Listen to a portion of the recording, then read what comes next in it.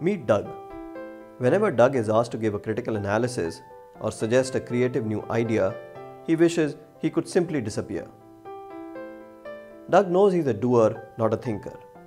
Critically analyzing opinions and conceptualizing new things is just not his cup of tea. Doug understands that this lack of confidence in his analytical and creative thinking skills will impede his future success. But the ridicule and the shame he will face if he were to voice his thoughts is even more daunting. Better to keep quiet. One day, it dawns on Doug that he is a good learner and if he applies his mind to it, he will surely learn something about higher order thinking skills.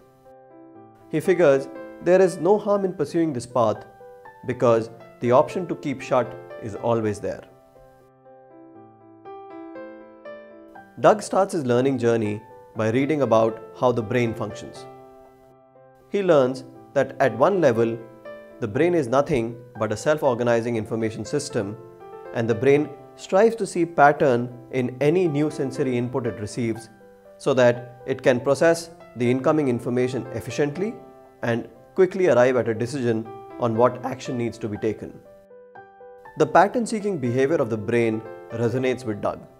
He knows whenever he meets a new person, his brain immediately tries to draw parallels with other people he already knows and tends to form an opinion about the new person immediately.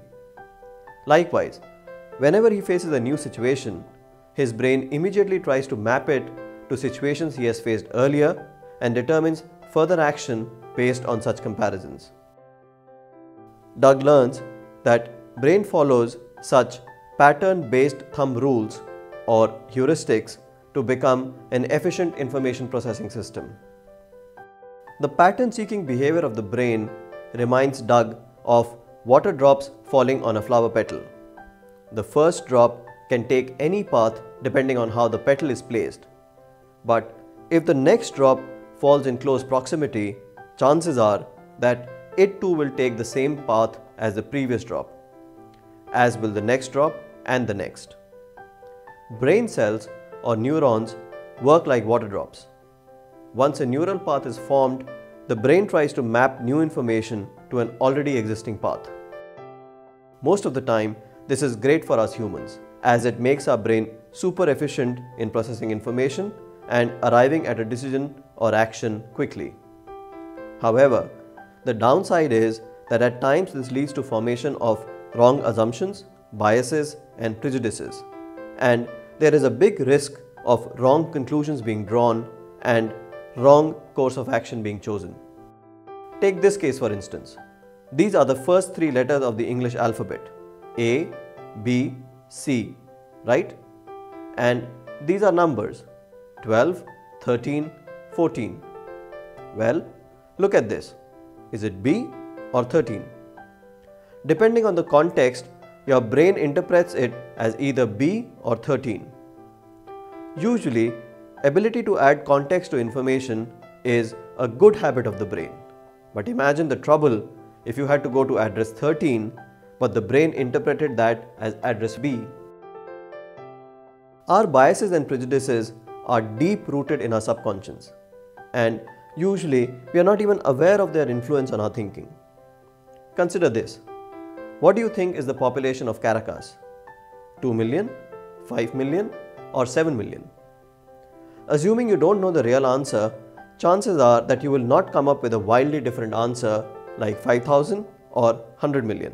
This is because a set of given choices has anchored your brain around a range and made you biased towards making a choice within the given range. This mental bias or cognitive bias is called anchoring bias. We have many more such cognitive biases that subtly influence our thinking and decisions like the overconfidence bias or the loss aversion bias. Doug also learns that there are different systems in our brain that treat incoming information differently. One system is called reptilian or lizard brain and it refers to that part of the brain that has been with us since we were apes and fishes. For millions of years, the main concern of living organisms was survival in hostile conditions. predators were everywhere, and quick thinking was required to survive. The reptilian brain works on survival instincts of fight or flight. Another brain system, called neocortex, does the opposite of this. Instead of basing decisions and actions on instincts, neocortex likes to chew on the incoming sensory information. Doug thinks of neocortex as a system for seeking second opinion on the input the brain receives. Much like the expert second opinion you seek when your family doctor looks at your x ray and diagnoses a possible dreaded disease. The lizard brain decides a course of action based on instincts, while the neocortex takes decisions based on deliberate thinking. Having different information processing systems in our brain is great for us humans. In times of danger, our lizard brain can quickly arrive at a fight or flight response. And at other times, our neocortex can nicely chew on the inputs received and take measured decisions. In the modern age, we rarely face survive or die predatory situations. Instead, we face different, more complex problems that require us to think deeply and not rely purely on instincts to make decisions. Problem happens when a sensory input our brain receives is wrongly interpreted as a threat to our survival. The lizard brain then hijacks the neocortex and does not give it a chance. Doug thinks of his reaction when he gets angry. It rarely feels like his brain has been hijacked, and even though a tiny rationality tells him to maintain his cool, the hijacker's demands are simply too much, and he gives in to his anger. No wonder they ask you to count till 10 when you feel anger swelling inside you. It is a simple technique to give your neocortex a chance to view things rationally. Lizard brain also has a lot of negativity bias and makes us dwell on negative far more than the positive. The negativity bias made sense in primitive age when situations faced meant life or death. But today, negativity bias can hamper making correct choices and may also ruin our happiness. Doug is reminded how one dislike on a YouTube video he posts makes him feel far worse than the elation he feels on getting 8 likes. He needs to remember that YouTube likes and dislikes should not ruin his happiness. Just like his anticipated fear of ridicule and shame he will face if he were to voice his thoughts and others were to disagree with him is not a life and death situation that needs his lizard brain to hijack his neocortex. Doug realizes he definitely needs to work on his negativity bias. Subtle influences reside in our subconscious, and they shape our thinking without we even being aware of their existence.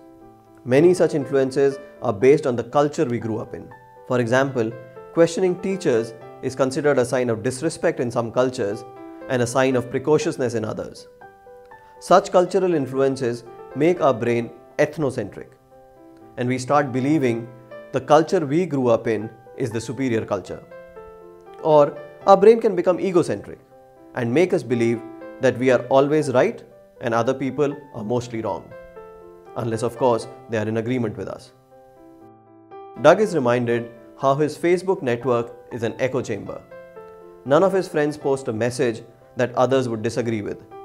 No wonder at work he has great difficulty in putting forth his viewpoint cogently with evidence and without negative emotions like anger and resentment towards the other person. Doug notes that he can use Facebook to hone his analytical thinking and debating skills by seeking controversial opinions and then arguing his case rationally. Doug realizes that honing his analytical skills is not only important at work but even in day to day life. Businesses of influence and persuasion, be it media, politicians, or advertising, are always wanting us to see things their way. Critical thinking skills help in making judicious decisions. Making choices that are based on peer influence or ad populum, that is, if many people believe something, it must be true, may lead to adverse downstream consequences. Abundance of digitized information, where for every opinion you will find a counter perspective make it imperative that we have the skills to ascertain the credibility and the quality of online information. Doug is very pleased with the progress he has made. He realizes how simply becoming aware of how his brain works has made him realize that ability to think independently and deeply is not something you are born with. These are skills that can be learnt and improved. He resolves to dig deeper. Don't miss the second part of Doug's learning to think journey.